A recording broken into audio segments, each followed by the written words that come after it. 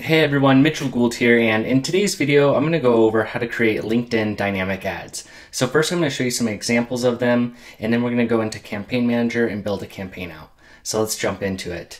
So what are LinkedIn dynamic ads? They're ads that are personalized to the user you're targeting. So if you have an overall audience, when your ads show, you can have the ability to show certain things like the user's first or last name, their company in the ad itself. So here's an example of the different macros that are supported for dynamic ads. So there's follower ads, which I'll show examples of, spotlight ads, and job ad ads. Those are the three types of dynamic ads. And you can use these different macros in your ad text and it will pull in the user's information into the ad. So you can see here, they're using the first name macro and it says, Hey Sam, join us at FixedX Data Summit. So that's an example there. Now to go into the, the formats and objectives that are available, the objectives in LinkedIn help optimize your campaigns for a certain goal. So for example, if you select the brand awareness objective, it's going to optimize for reach and impressions. Whereas if you select the website visits objective, it's going to optimize to try to get users to click the ad and visit your website. This is the most common objective used in LinkedIn ads, and in the example I'm going to go through, we're going to create a spotlight ad with the website visits objective. So again, these are the different uh, dynamic ad formats, and then you can see which objectives uh, that that ad format is under. So for spotlight, you can choose a brand awareness, website visits, talent leads, website conversions, and job applicants. And again, we have follower, spotlight, single job, and jobs. So some real life examples of those. Um, I'm on my profile here, and you can see here there's a dynamic ad retargeting me because I did visit this company's website. So it has my profile image, it has my first name here, and this is an example of a spotlight ad. Another example of a follower ad is here. So the call to action is follow, and if I click that, I'll start following this LinkedIn page. And it has my profile image and also my first name here. So again, you can use those macros that we took a look at and incorporate them in your ads to make them dynamic and personalized. And then here's an example of a job um, ad. Uh, you can see the user's profile image here, their first name, and then the available job opportunities here. Um, again, you can do it with uh, the Spotlight ad format as well, showing the profile image there. And here's just another example of a, a, job ad, and that is a spotlight ad. Now we're gonna go into the campaign manager and create a spotlight ad, which is a dynamic ad.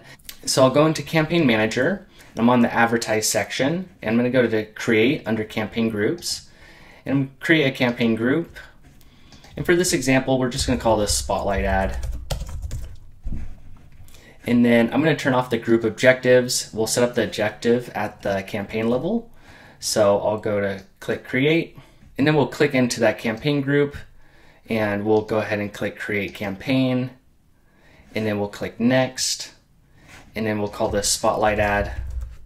And for our objective, we're going to choose website visits and then we're going to scroll down first and you can see here the ad format. So this is where you choose the dynamic ads.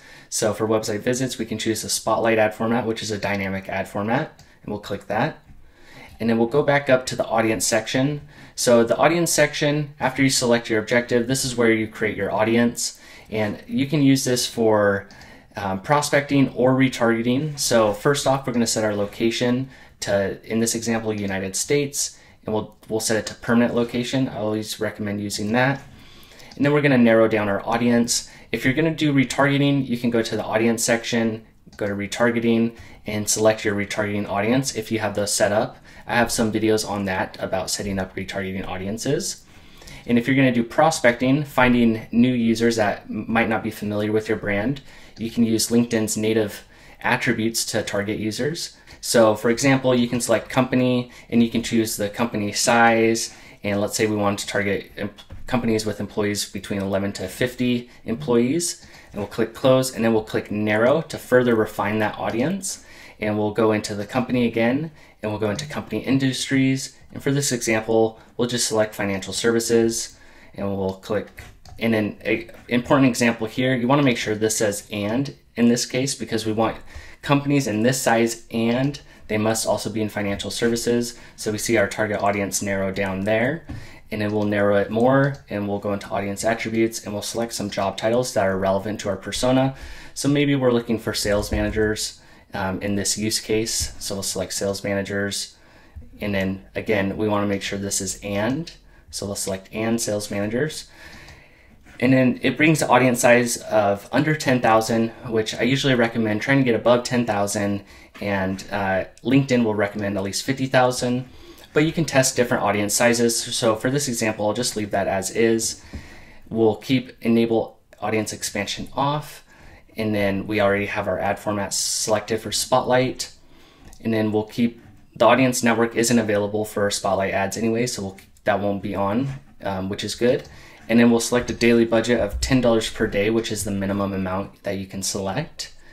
And then we'll optimize for landing page clicks. And we'll keep the manual bidding at $5.10, which is on the lower end of the range for now. And then if you have conversion tracking set up, you can select the relevant conversions and then you'll click next and save. And then we'll click create new ad. And then for spotlight ads, you can add a background image if you like. In this example, we'll just type in um, a headline here and we'll use the dynamic uh, macro attributes. So we'll say first time, learn more about marketing. So this is just an example, obviously here, we'll add an image so you can see it, took the macro here and it uses the user's profile name. So it says Jane, learn more about marketing. And then we'll put in a description. Just as an example, the description shows at the top. You have your image here and then we'll select use profile image. It shows the user's profile image. It shows their first name because we used that macro. And I'll put a link to the macros um, in the description below here so you can copy those. And then we'll choose a call to action. So I'll say learn more and it has to be within 18 characters. And then we'll select our destination. And then that's how you create a spotlight ad. So the, the process of this is very similar if you're creating a follower ad and if you're also creating a, a job ad. I have some examples of creating spotlight ads and follower ads, and I'll put those above as well, just for more in-depth reference to those. So um, that's how you create dynamic ads in LinkedIn. If you have any questions on that, or if there's anything confusing about that, please put them in the comment section. I'd be happy to help you out there. So thanks for watching and have a great day.